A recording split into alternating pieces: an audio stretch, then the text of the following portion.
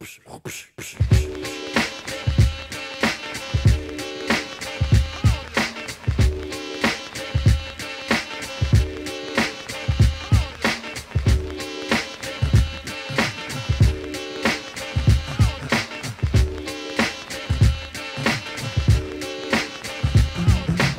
up, everybody. The bottom line.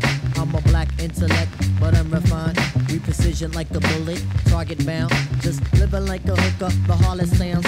Now, when I say the harlot, you know I need the hot heat of the equator, the broth that's in the pot. Jalik, Jalik, you wind up your hip. Drafting of the poets, I'm the number seven pick. Licks, licks, licks, boy, on your backside. Licks, licks, licks, boy, on your backside. Listen to the fate of Shaheed, let's it glide. To the earthly body, heaven's on my side. Even in Santo Domingo, then I got a gringo.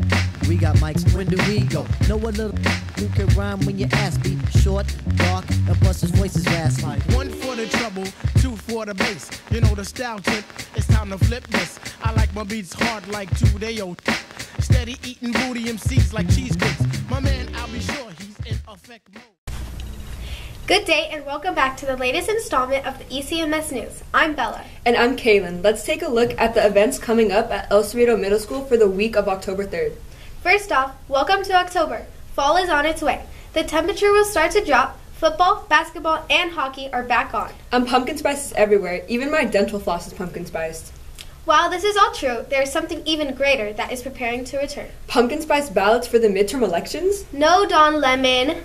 The ASB Haunted ha- Halloween House is now officially under construction on our stage. That's right. Our Halloween dance returns on October 27th, which leads into the Fall Festival on Friday, October 28th. So if you see a bunch of students carrying ghouls and goblins and such into the MPR, that's why. More details to come, but believe me, you will want to be here for both of these events. Moving on to the world of sports. Last week, both of our girls and boys basketball teams jumped on the 15 freeway toward Eastvale and stopped by Augie Ramirez to lay the lumber on the Ramirez Wolves. Using a combination of skill and Tenchi's grit, grit, both teams got the W and sit at the top of their respective standings. This Tuesday, October 4th, River Heights Colts trot their way into Red Hawk Arena for a tilt with our team. The grits tip off at 4 p.m. while the boys start right around 5 p.m. This is our first intramural basketball home game since 2019, so make plans to come on out and support the Red Hawk student athletes. Break The Colts! Break the Colts! Break the Colts! Continuing with sports, attention ECMS cross country teams. Mount SAC is in two weeks. I repeat, Mount SAC is in two weeks. That is all. This is this just in the Career Technical Education Expo, also known as the CTE Expo, is on Saturday, October 8th from 9 to 12 at JFK Middle College in Norco. This is basically an expo that shows all CNUSD students and parents the different CTE pathways that their child can take when they enter high school. Please enjoy this short video hyping the CTE Expo.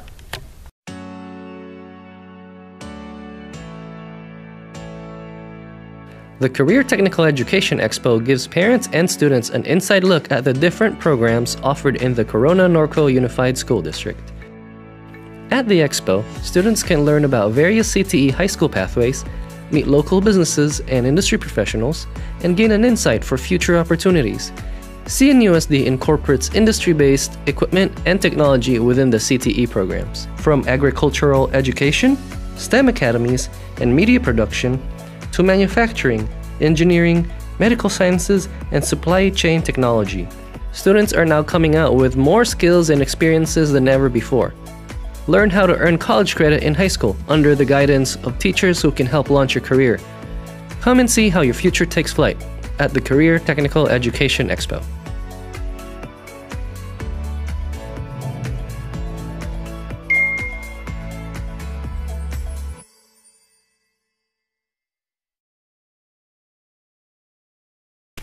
Such a really interesting and enlightening event.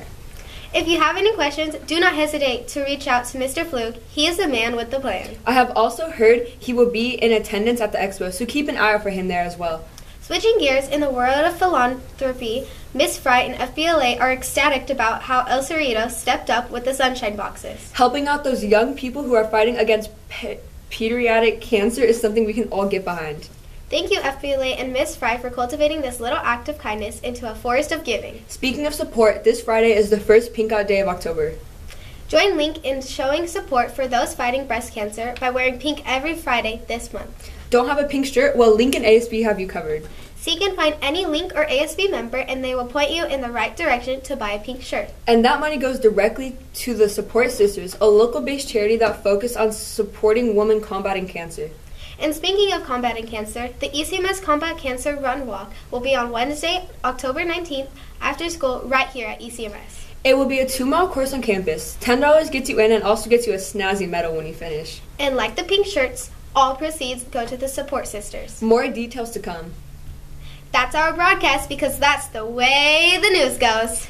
Thanks for watching. We will return next week with highlights and interviews from Colts Red Hawk basketball game. But until then, don't have a good day, have a great day.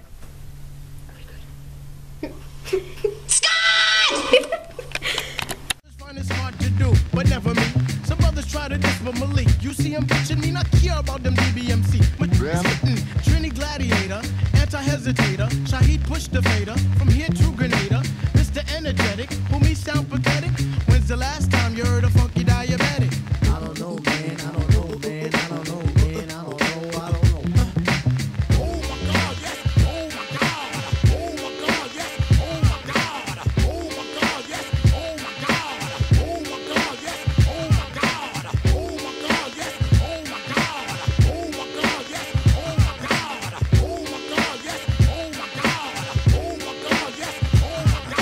Complimentary of we, the three for poetry. I got a humdinger coming hook, line, and sinker. The Timbo hoofs with the prints on the ground. Timbos on the toes, I like the way it's going down. Down like a lady of the evening. When it goes in tits, just believe it's in. Cause Queens is the county, Jamaica is the place. Take off your cleats cause you can't run the race. Oh race.